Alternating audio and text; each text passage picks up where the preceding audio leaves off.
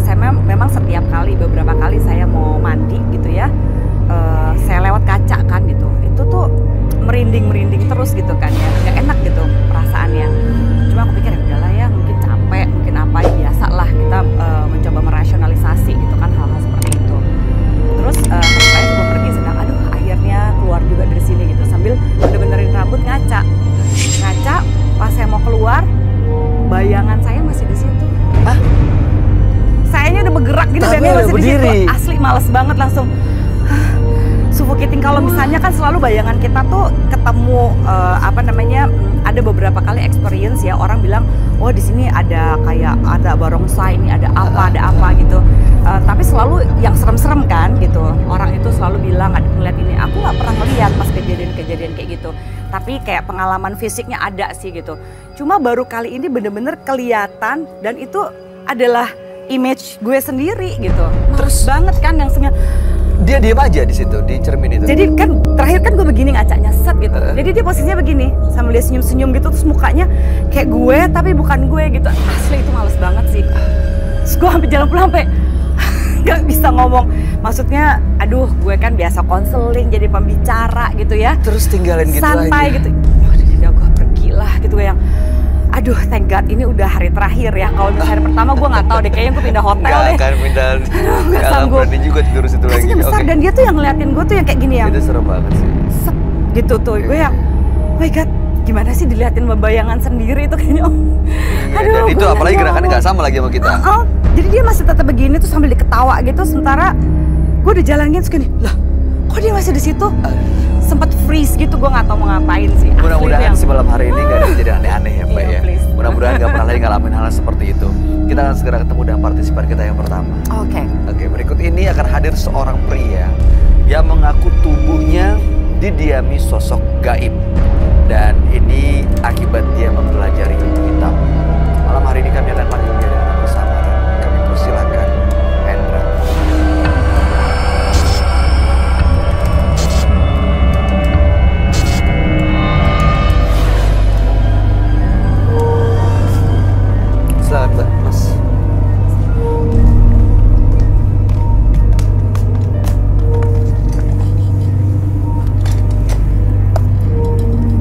malam Mas Hendra. Malam. Ada yang mau diceritakan? Ada. Silakan. Saya mempunyai penasaran yang tinggi terhadap yang namanya ilmu hitam. Ada teman nyuruh saya datangin beberapa dukun. Dukun ini saya datangin, dukun itu saya datangin. Sampai-sampai ada dukun sakti yang kata orangnya dukun sakti. Saya datangin, saya harus bersembunyi di sebuah goa. Dan di situ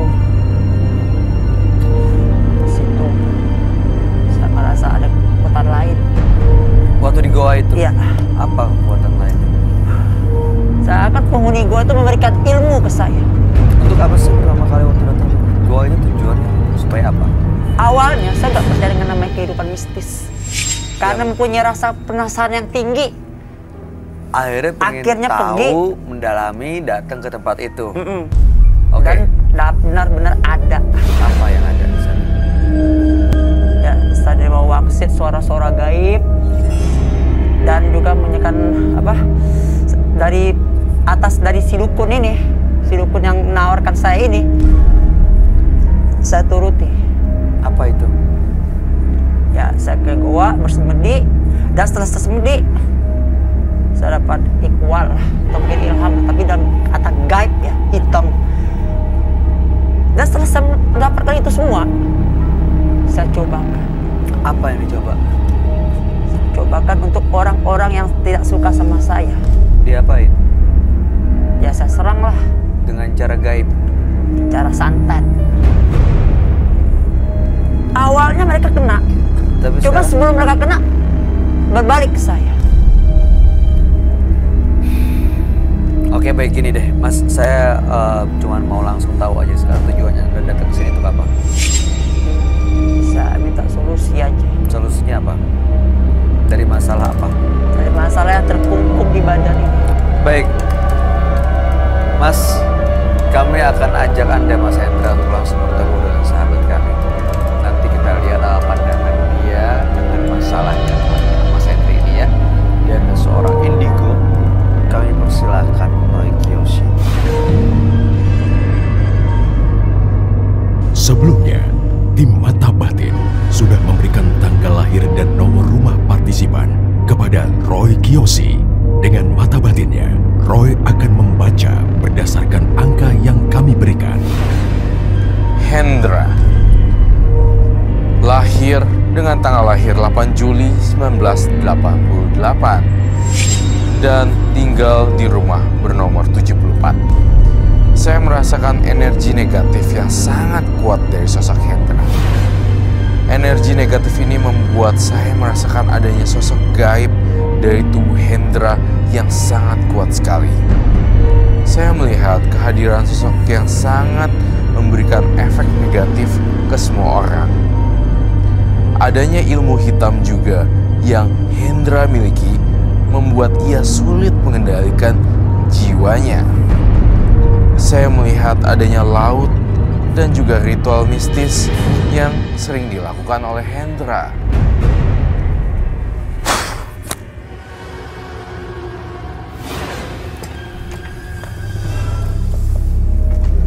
Selamat malam. Selamat malam. Silakan duduk semuanya. Maaf ya, saya nggak judge orang dari cover atau apa. Tapi kok saya melihat ada aura negatif ya di tubuh Mas Hendra. Dengan tanggal lahir 8 bulan 7 1988 dan nomor rumah 74.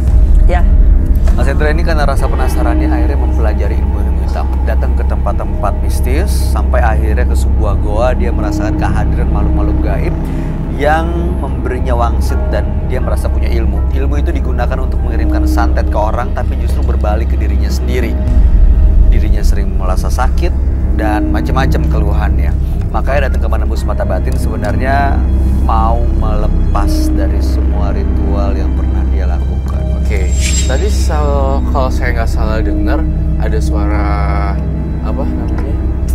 Ini ka- agak agak suara tekanan tinggi high tone ya. Iya, Jadi nadanya. menjelaskan statement apa ya untuk itu? Tadi Nah. saya lihat kayak ada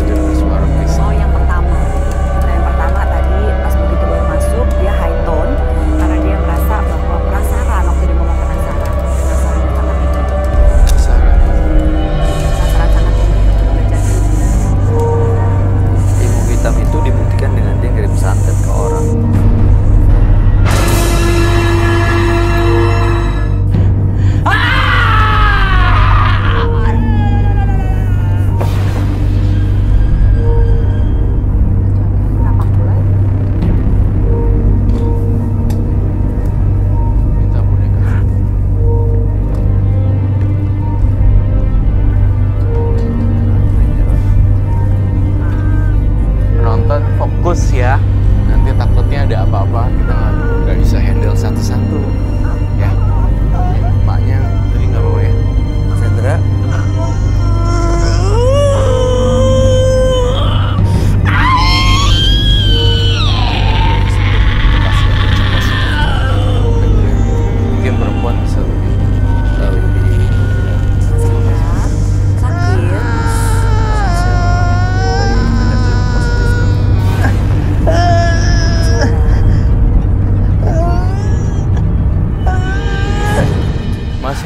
Sakitnya di Hendra. mana ya?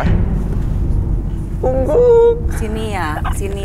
Seluruh belakang. Iya, Kayak ketusuk paku. Shaking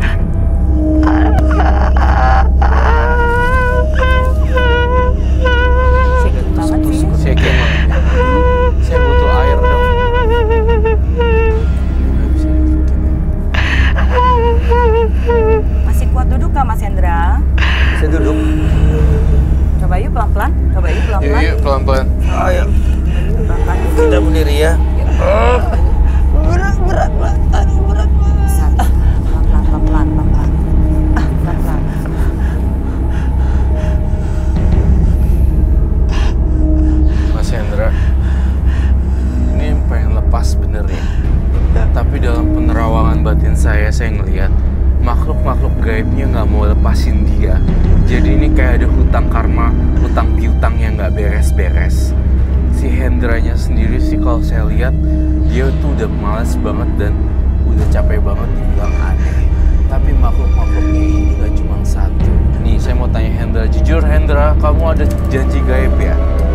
Perjanjian Misalnya, gaib. Well, Iya. kayak gue kaya, gue bakal datengin tempat ini setahun sekali.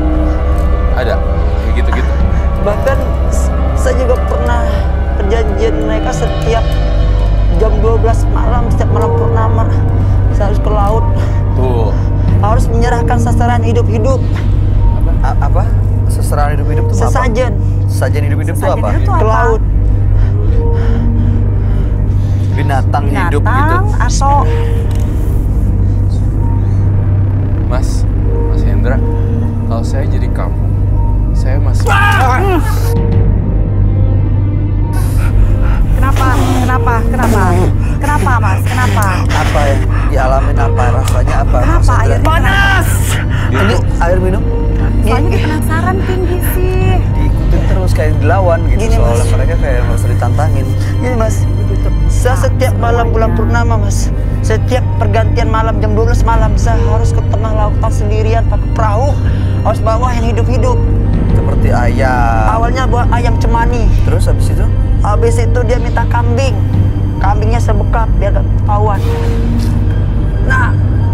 Dia minta sapi atau kebo, badan saya sendiri saya gak kuat. Kenapa kamu turutin? kalau nggak diturutin gimana? Iya. Nyawa saya terancam. Oh iya, yang saya bilang tadi ya. Oh. Di sini kamu bawa jimat gak? Saya mau lihat. Apa yang dibawa? Kasih aja, Mas. Kalau memang udah nggak ini daripada capek loh. Ya, hubungan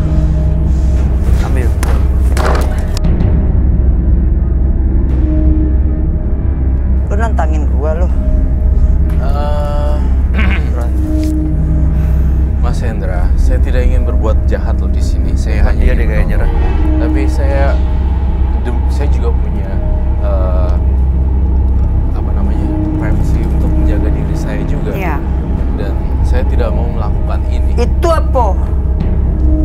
Kalau kamu menyakiti saya, saya akan nyak- bukan saya mau menyakiti balik, tapi saya, Itu apa? saya cuma mau menjaga melindungi ini. diri loh. Kita cuma mau melindungi Iya, loh. kita kita dan saya bertanggung jawab untuk melindungi mereka semua di sini. Itu apa? Bukan apa, bukan urusan kamu. Tampaknya bukan dia lagi yang oke. Tolong cabut paku itu. Enggak.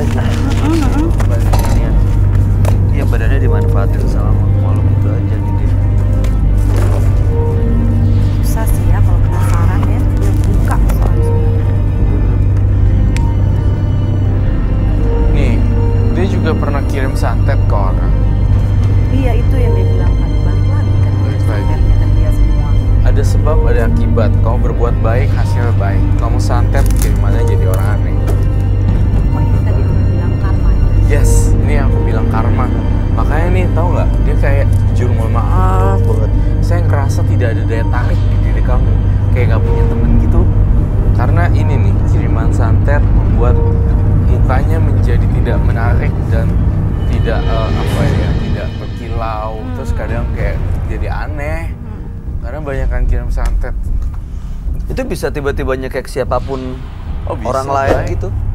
Bisa? Bisa. Itulah saya terkungkung di diri sendiri. Mas. Dari radius di sini saya mencium bau jimat. Jimatnya di mana? Bohong, jangan bohong ya. Dia bilang bahwa- emosi ya. Iya, begitu dibahas soal jimat kayak langsung tersinggung. Kayak berubah gitu. Di mana jimatnya, Mas? Matanya.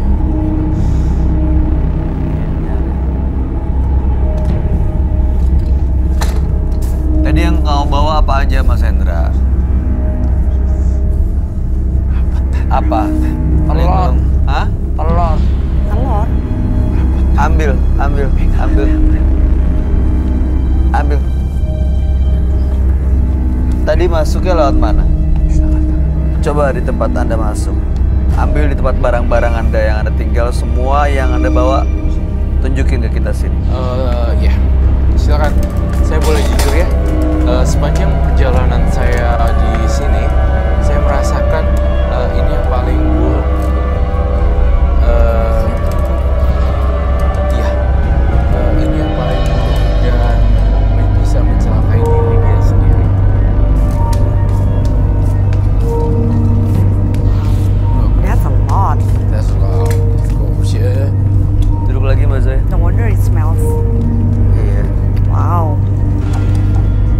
Ini aja, Mas? Kasih tahu ke kita apa yang Anda bawa.